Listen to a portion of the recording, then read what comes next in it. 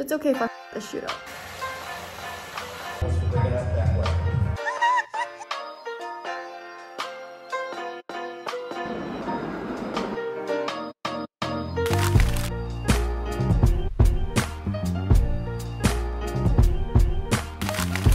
I'm skipping school again to go model.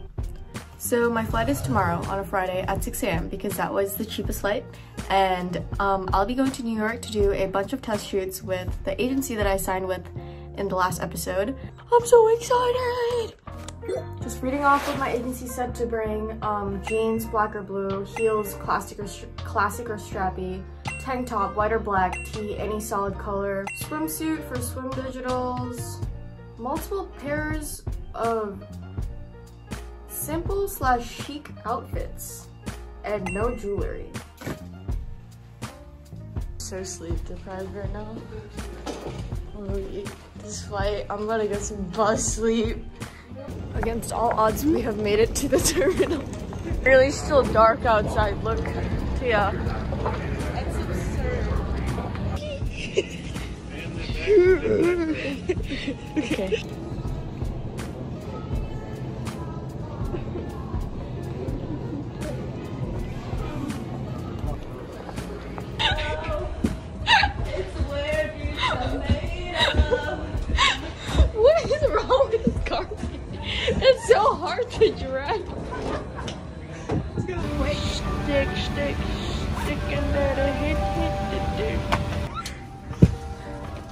Good?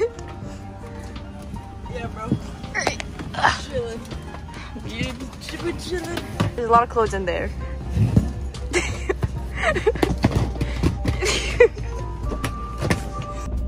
It's the weird noises that the plane is making, um, triggering your fear that we are going to crash. Sin, Sin City was a I don't know how this stayed okay for the entire flight. There was so much turbulence. Wait, let's talk.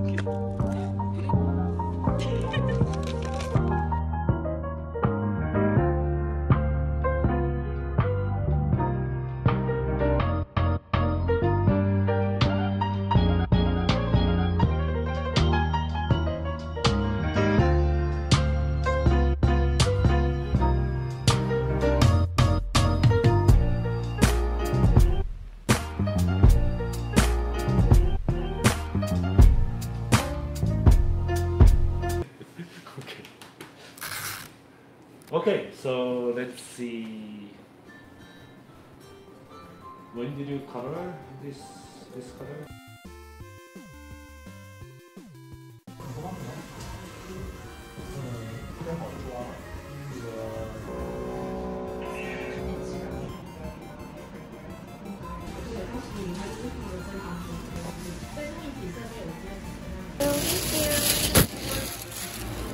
Me too.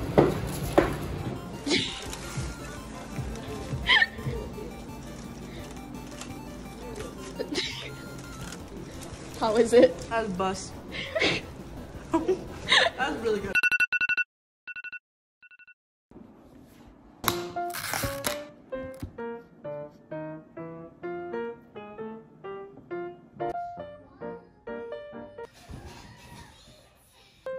Overall, feeling a little nervous, but also incredibly excited. It's okay if I f the shoot up.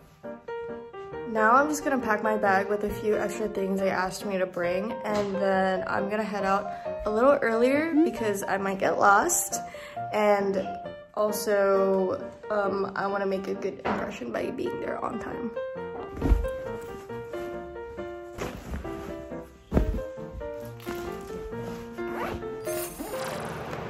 Getting here was such a struggle and I was so scared this was like some shady establishment, but now that I'm actually here,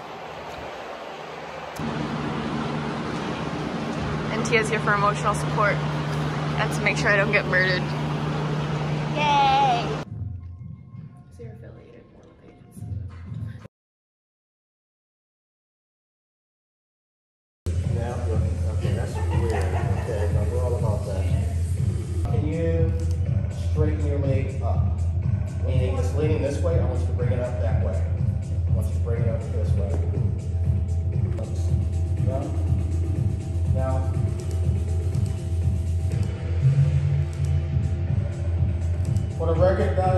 know that she chose this, so. It looks cool. The agency says it, like, what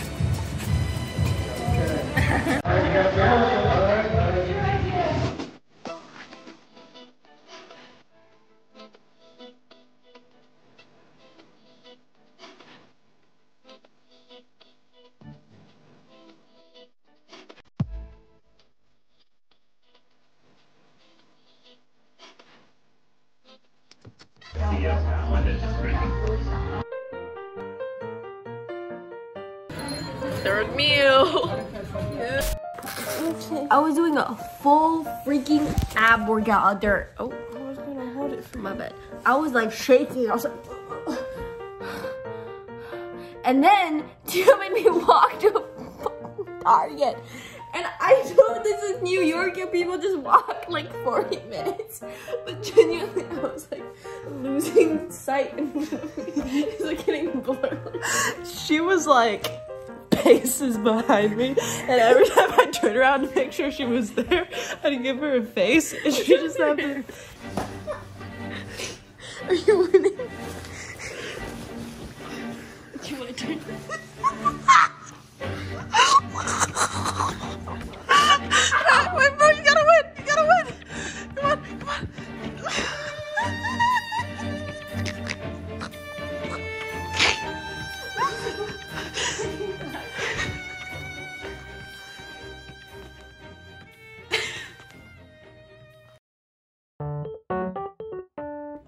Today I'm meeting with my agency. It's not a shoot, and they said I could wear some light makeup, so I'm gonna do that because why would I not take advantage of that? We're also filming a beauty video, introduction video, and then like my Polaroids. I like reviewed a few like points that I want to like go over with my agency tomorrow. Just gonna do that on the train. So turns out we're gonna get there 17 minutes early. I got a few minutes before I actually gonna go in, so I practiced my walk one last time. I'm also gonna practice what I'm gonna say in my personality video because I gotta stand out. Cause I'm short, so I'm gonna make up for it. Three, two, one. Yeah, buddy. It's not bad. Your arms are just a little weird. Hello, ladies. Where you guys are going, please make sure you're both okay? Thank you.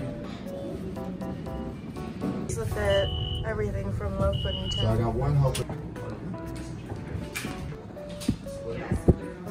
emotional support. Body looks good.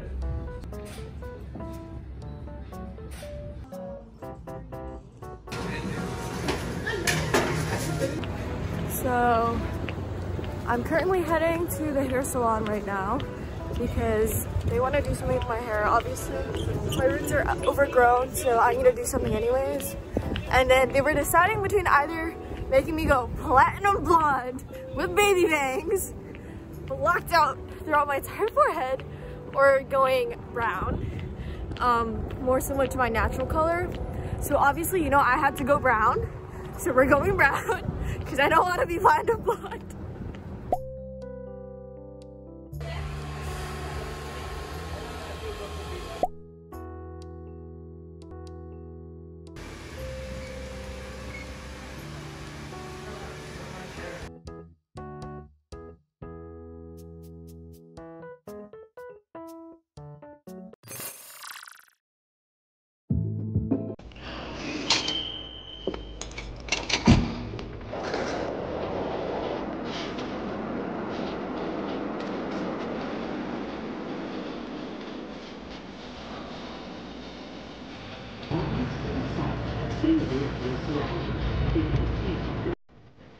We got another shoot today, and the name of the person that's shooting me um looked like it was a Chinese name.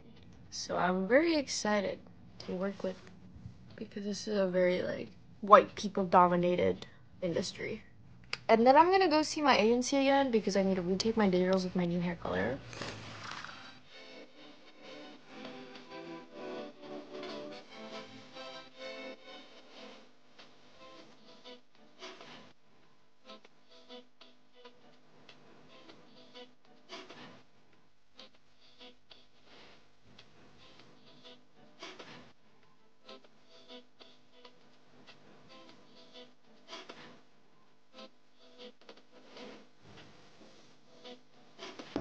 I told my agency that this wasn't my natural hair color and like what it actually looks like.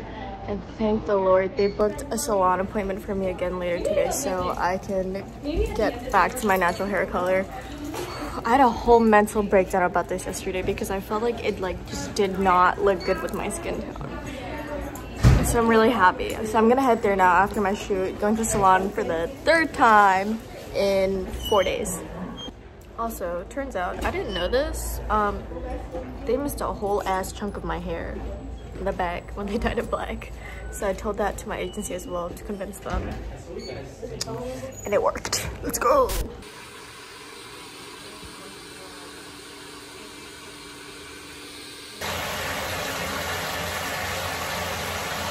Life update.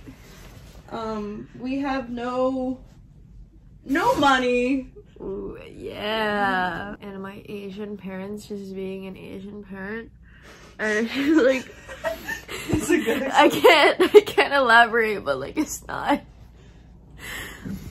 And like, this hair is also giving me an existential crisis. I'm doing a little better now, but like, it's still kind of like, what the every single time I walk by a mirror. I don't really feel like I'm in control.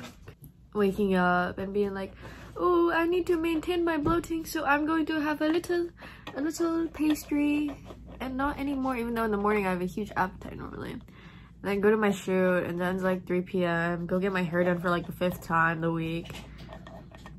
To a color that I don't even want, and I'm still paying for it. Where's my hairbrush? I don't know where your hairbrush is. Oh. Also, this hotel is so weird. It's so sus. There's so many weird things about this hotel. It's like unintentionally horribly sus. It's a liminal space. Me when modeling becomes actually modeling. Can we on the bed? If I don't knock this over.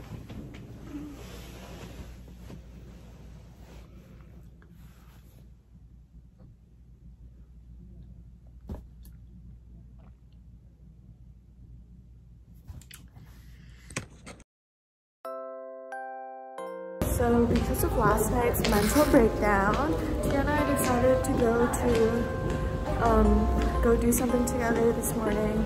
So we went to the museum and took some pictures. Yeah, just had some good times together. Just met with my agency, feeling a lot better, both about my hair and just modeling in general. My agent, Mike, is literally, he's such a sweetheart. He's so nice. Made me feel a lot more comfortable with everything that's going on. And now I'm just gonna meet Tia for dinner. Um, it's like 3 p.m., so I'm not sure counts as dinner. But we're just gonna get something to eat and then I'm gonna head to my last shoot of the day.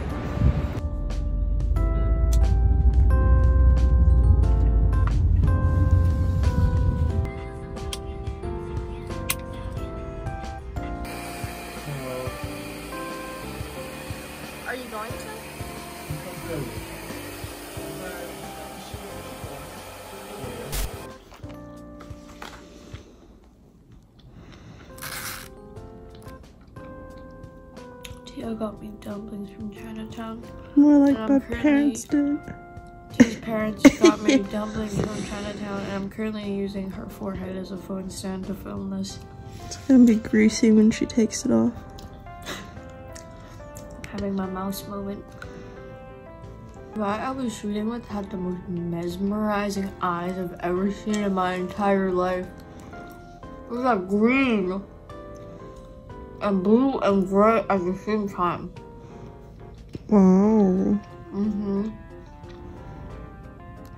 We walked around And because of my height complex, I was wearing heels the entire time and my feet ache so much. We got some shots in. And he was overall like a really chill dude. And he gave me a bunch of hair conditioner. Because he's he used to work as a hairstylist before he got into photography. And he saw how fried my hair was. And just gave me a bunch. So that was nice of him.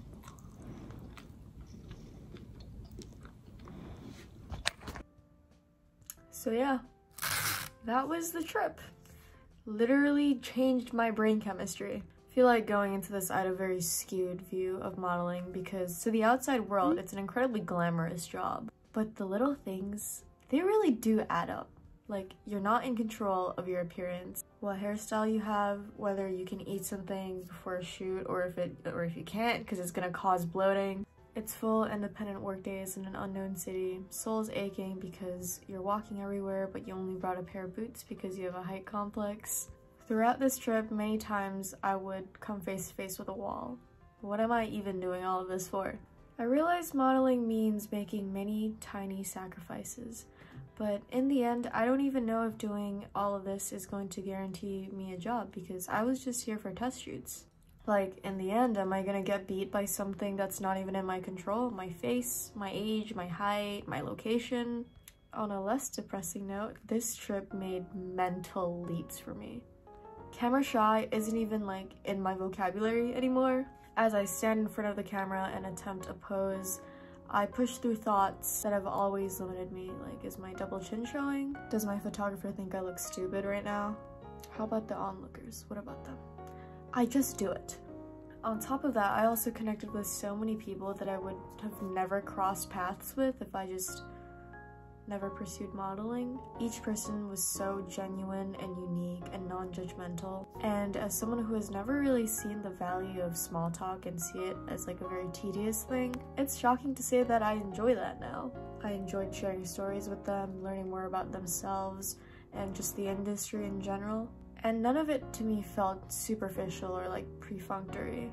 No matter the outcome, whether Dior was a one-hit wonder or this is the beginning of a legendary modeling career, I can confidently say that I put my all into this trip and I don't regret it. And I do it again. It just takes getting used to.